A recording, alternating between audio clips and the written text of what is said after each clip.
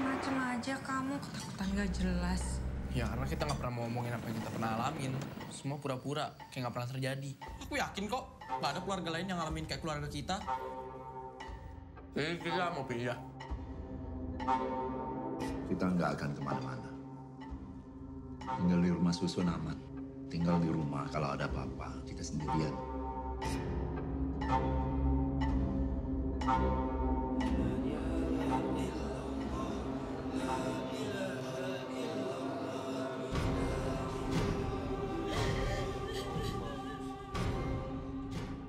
Aku rasa ada sesuatu di rusun ini.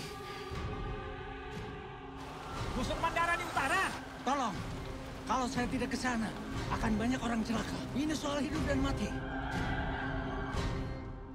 Dari dulu kita nggak pernah tahu bapak kerjanya apa. Bahkan setelah ibu meninggal, bapak nggak pernah bilang dia mau ke mana. Dia ke mana-mana selalu bawa tas ini. Dan kalau pulang, dimasukin lemari, langsung dikunci. Itu lantai kosong.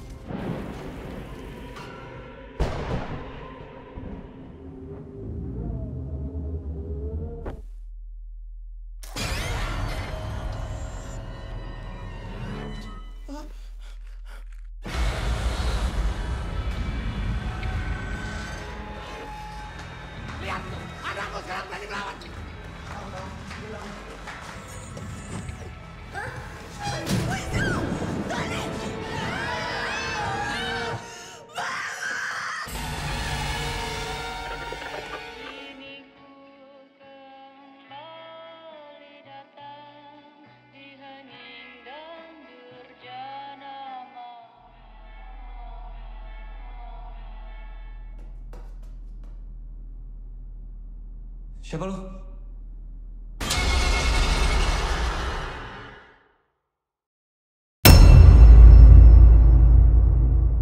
Nah ini dia sebenarnya. Saya udah nunggu-nunggu banget selama tiga tahun. Nggak ada clue apa-apa dari Abang Joko karena Bang Joko juga selama ini sibuk dengan film-film yang lain dengan kerjaan-kerjaan yang lain. Pasti kabarin ada pengabdi setan 2 wah itu rasanya kayak apa ya kayak perjalanan yang belum selesai tengah-tengah perjalanan dilanjutin gitu kan. Jadinya excited banget seru banget dan setelah kita baca bareng-bareng skenario nya baca skripnya bener gue nggak bisa tidur semalaman. Karena jujur pengabdi setan kedua ini lebih serem pengembangan ceritanya lebih banyak lebih lebih banyak pemainnya lebih lebih dari lebih dari pengabdi setan pertama. Karena waktu pengabdi setan pertama setnya lebih banyak di rumah ini di rusun yang jauh lebih besar yang jauh lebih banyak setnya. Dan justru di rusun inilah semua rahasia-rahasia terbongkar. Rahasia apa? Nanti langsung aja nonton. Pengabdi Setan kedua itu benar-benar berbeda sekali sama Pengabdi Setan pertama dan ada banyak scene-scene yang bahkan gue aja yang main tuh kayak "Ah, yang bener. Dan ketika mereka lagi syuting adegan ini gue datang tiap hari karena pengen lihat kayak apa gitu. Dan em, di film ini juga banyak cast yang masih uh, kecil kan masih muda. Tapi actingnya mereka keren banget dan ini benar-benar horor yang harus ditonton sama semua orang kalau nggak ketinggalan banget. Ya guys, jadi karena film Pengabdi Setan 2 ini eh, sangat minim lampu dan kebetulan adegannya malam semua jadi kita pakai lampunya beneran. Jadi seminimalisir mungkin ada lampu di set. Jadi kalau misalnya adegannya pakai korek pakai korek beneran pakai lilin pakai lilin beneran. Coba sekarang lampunya matiin. Nih kayak gini nih. Ya kayak gitu pokoknya. Jadi bener-bener pakai lilin asli lightingnya juga bener-bener sedikit jadi bener-bener serem Sebenarnya kalau gue paling seneng kalau misalkan syuting film tapi eranya di era yang berbeda gitu. Ketika kita para pemain reading, baca skenario-nya segala macam itu hmm, kayak udah satu layer membangun karakter. Tapi ketika udah di set ngelihat mobil-mobilnya beda, ngelihat eh, gedung-gedungnya bentuknya beda, interior setnya beda, apalagi ketika kita pemain udah pakai bajunya itu benar-benar ngerubah mood dan ngerubah karakter. Jadi eh, ketika kemarin harus syuting Pengabdi Setan kedua settingnya tetap di 80-an itu kayak dream come true buat gue. Konsep dari Pengabdi Setan 2 kalau secara storytelling tentunya ini adalah lanjutan dari Pengabdi Setan 1. Eh, gaya berceritanya masih sama, temanya masih sama, tema keluarga. Tapi kalau kita lihat di sini ada yang kita push, kita nggak mau bikin film Pengabdi Setan 2 hanya pengulangan dari Pengabdi Setan. Tema mungkin sama, tapi dari eksplorasi teknis dan estetika kita mau ini lebih lebih jauh eksplorasi dan lebih baik hasilnya. Tentunya secara teknis lebih sulit karena kita ingin menciptakan sebuah uh, uh, dunia yang terasa claustrophobic.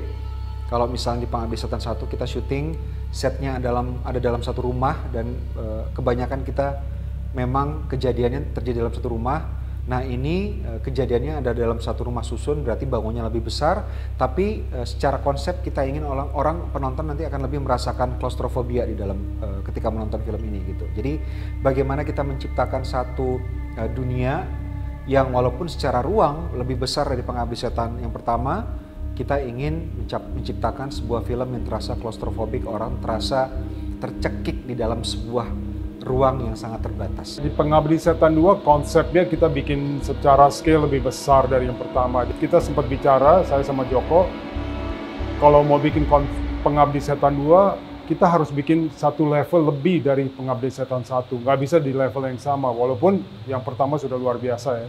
Sebenarnya Pengabdi Setan Komunian ini berbeda banget sama Pengabdi Setan 1 karena dalam segi lokasinya juga ini udah serem banget karena ini rusun yang terbengkalai dan gak pernah dipakai sama siapa pun itu hampir belasan tahun dan kita syuting ke sini dan pas kita syuting itu bener-bener pas tag-nya itu nggak ada lighting sama sekali. Kita cuma pakai center dan itu kebetulan scene-nya aku yang pakai center dan itu bener-bener serem banget. Pokoknya kalian wajib banget nonton Pengabdi Setan karena bagus banget serem banget ceritanya. Lokasinya aja serem apalagi ceritanya. Gitu guys. Kemudian dihantarnya skenario lalu aku baca and nah kerasa beda tapi ada persamaannya. Yang yang kita sebagai fans PS1 especially akan akan akan merasa nah this is what I like about Pengabdi Setan. Remains the spiritnya sama. Tapi ada new edition, new edition of stories, new edition of moment, and it's much bigger, it's much bolder, and I think it's better. Pengalaman saya dari waktu bermain film Pengabdi Setan pertama, lalu sekarang mendapatkan peluang lagi untuk terlibat dalam film Pengabdi Setan kedua. Ini adalah satu hal yang sebenarnya saya tunggu-tunggu. Dan seperti big dreams coming true saya ucapkan terima kasih pada semua pihak yang telah membuat keputusan untuk melibatkan saya menjadi bagian dalam uh, sebuah proyek film yang sangat sangat uh, membanggakan sangat membahagiakan kita semua juga baik sebagai pemain dan juga penonton uh, dalam film Pengabdi Setan sebelumnya. Dan mudah-mudahan yang Pengabdi Setan yang kedua bisa memenuhi harapan banyak orang. Pengabdi Setan kedua jelas lebih keren, lebih kompleks, lebih seru, dan penuh kejutan bukan saja untuk penonton tapi juga untuk pemain. Saya di sini dibuat jauh lebih muda, 20 tahun lebih muda dengan tim make up dan wardrobe yang mengikuti zamannya. Dan hasilnya saya sendiri waktu berkaca ping cukup surprise loh. Saya kok muda lagi ya? Artinya di sini timnya luar biasa. Uh, sesuai dengan kebutuhan skenario, mereka mengikuti dengan baik dan profesional. Saya kan kebetulan punya pengalaman eh, masa kecil itu ngeliat mayat itu hampir setiap hari di masa Petrus. Jadi waktu tadi pertama kali lihat itu langsung selep gitu. Karena eh, impresi dari visualnya kuat ya, kuat-kuat banget ke saya dan tiba-tiba saya juga memori saya langsung ke belakang waktu masa kecil saya ngeliat mayat-mayat kayak gitu. Kalau saya secara personal nggak takut gitu tapi bahwa itu kemudian eh, nyabut memori saya yang lama itu jadi kuat banget karena eh, visualnya bagus banget Ya saya sebetulnya sudah menduga bahwa film ini pasti akan ada lanjutannya. Tapi ternyata lanjutannya di atas ekspektasi saya.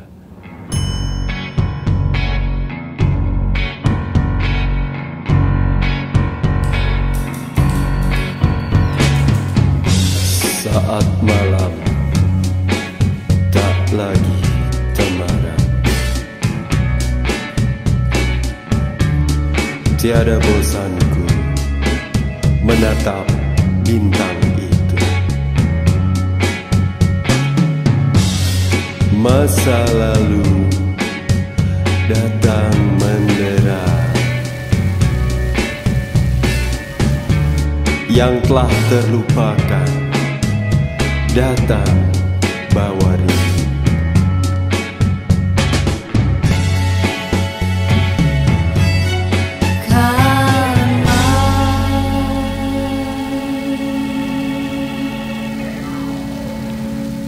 Beberapa setup kamera di Pengabdi Setan 2 memang sulit. Karena pertama memang kalau bikin film saya dan teman-teman kru tidak ingin hanya eh, membuat film sebagai rutinitas gitu. Kita ingin ketika kita bikin film yang baru ada tantangan baru, ada eksplorasi baru.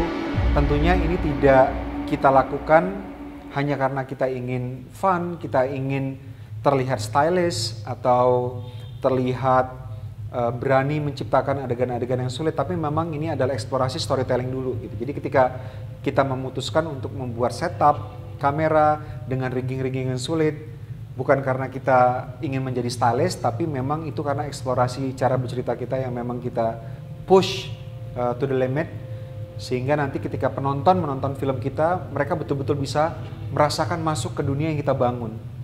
Uh, kita ingin penonton ketika menonton Pengabdi Setan 2 betul-betul merasa ada di dalam di dalam uh, adegan-adegan yang kita bangun dalam film. Sehingga eksplorasi kamera maupun eksplorasi uh, departemen-departemen lain dalam film Pengabdi Setan 2 ini memang kita push demikian rupa sehingga uh, kita berikan yang terbaik penonton bisa merasakan dunianya bisa merasakan atmosfernya ketika mereka menonton film Pengabdi Setan 2 Ya, jadi adegan itu um, di bawahnya itu banjir um, lumayan lah sekitar sedada manusia. Jadi memang di lokasi itu dibangun kolam kurang lebih mungkin 10 kali 10 meter kali atau ya 8 meter kali 8 meter itu diisi air. Gue juga pas uh, uh, baca skrip uh, ini akan di studio atau kayak gimana? Ternyata enggak.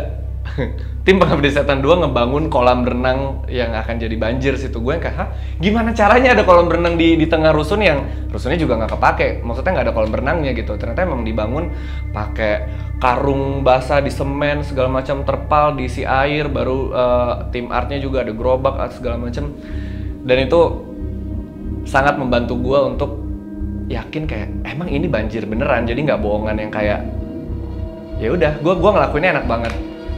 Adegan banjir itu kerennya pokoknya ntar lu lihat lagi. Nah jadi karena Dino dan Tarito nggak bisa keluar karena banjir. Setnya bisa dilihat kita bikin bendungan sekit eh, di basement. Kurang lagi persegi kayak gini diisi air. Loh tapi ini udah diisi dari sore tapi terus ditambah terus. Nah tadi sore itu sempat bocor. Jadi kita sempat lama buat ngisi airnya cuman sekarang udah bisa. Dan ini mau ditambah lagi. Bisa dilihat itu ada sampah-sampah gerobak semua. Itu ya kayak banjir beneran gitu. Macam-macam barang-barang yang em, terapung tuh semuanya dari sini. Keren. Bisa dilihat film ini totalitas banget satu dua jempol. Kesulitannya yaitu di saat gue harus kerja sama dengan kayak tinggi kayak ada adegan lagi sholat lah. Terus mukenahnya harus nutupin ke uh, apa kamera gitu. Itu harus pas banget. Jadi kayak kadang kesangkut kadang ketinggian kadang kependekan kadang kurang lebar gitu. Tapi di satu sisi juga harus lihat ada pocong gitu. Jadi kayak mm, mm. Dari segi lokasinya ini kan rumah susun yang sudah 12 tahun ya nggak ditempati gitu. Jadi eh, ada yang temboknya belum jadi, ada yang ya memang belum jadi semua gitu, belum jadi semua. Tapi eh, nggak tahu tim produksi bisa menemukan tempat ini. Saya rasa sih ini eh, luar biasa sekali dan ya taulah bangunan yang sudah 12 tahun tidak dihuni. Ya begitulah ceritanya ya. Tidak usah dibahas di sini ya. Ini soalnya di lokasi ya. Ya emang film ini tuh beda dari yang lain. Kan biasanya aku ngomong ya pakai biasanya ngomongnya kan bicara tapi sekarang harus pakai bahasa isyarat pakai tangan. Dan itu emang belajarnya lumayan susah. Emang filmnya tuh creepy banget dari pas baca naskahnya tuh malam-malam aku sampai nggak bisa tidur. Ini kalau aku pulang syuting aku biasanya tidur sendiri. Ini aku selalu selalu tidur sama mama jadinya. Pokoknya dari dari shoot, tempat syuting ceritanya dan pastinya filmnya bakal serem banget di sini tuh tuh di rusun yang rusun itu tuh serem banget pokoknya. The best banget. Ini serem bisa minta ampun. Dan aku punya pengalaman juga. Jadi aku itu uh, ada di salah satu ruangan make up yang di atas di di rusun ini di lantai 4 di situ aku ada satu salah satu ruangan. Itu sebenarnya orangnya rame. Aku itu lihat atas terus di atas itu ternyata itu kayak ada orang anak kecil gitu yang segini lah yang mungkin segini aku. Dia tuh tuh ngerangkak pokoknya serem banget itu itu serem banget. Uh, dia tuh tuh ngerangkak terus itu kayak aku diem kan aku kayak gini aja diem ngeliatin ngeliatin dia. Dia tuh tuh ngeliatin aku melotot gitu kan. Aku juga ngeri kan ngeliatnya gimana ini kata aku. Aku kasih tahu ke orang-orang yang ada di samping aku biar aku gak ketakutan. Terus itu aku kasih tahu aku nangis nangis dan tiba-tiba kayak hitam semua kayak aku tidur gitu. Tiba-tiba aku bangun itu di set di setnya tempat syuting. Nah gitu. Jadi kayak udah nggak kelihatan apa-apa lagi gitu. Abis aku nangis telep gitu. Udah udah kayak nggak kelihatan apa-apa. Nah, itu sih cerita yang paling serem menurut aku di rusun ini. Secara cerita sendiri,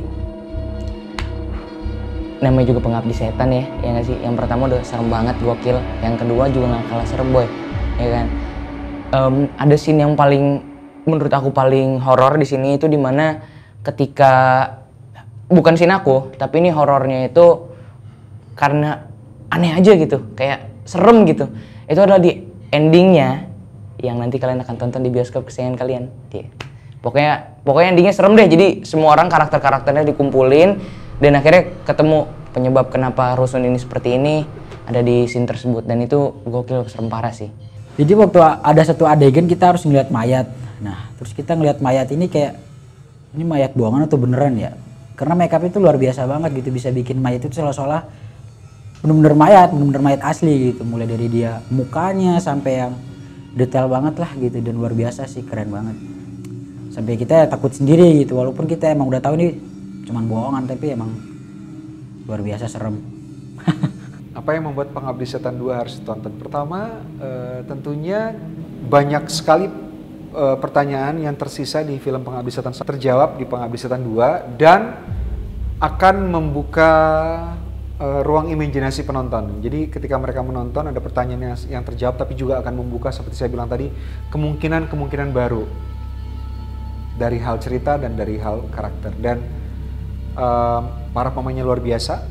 Menurut saya ensemble cast di Pengabdi Setan 2 adalah ensemble cast yang luar biasa. Mereka berhasil menghidupkan karakter-karakter mereka secara sangat realistis dan amusing banget. Kemudian dari segi technicalities, ini adalah sebuah film yang eh, menurut saya berhasil menciptakan dunia eh, dalam film di mana penonton akan bisa merasakan bahwa mereka ada di dalamnya sehingga mereka menonton akan menjadi pengalaman sinematik yang eh, sangat mengasyikkan.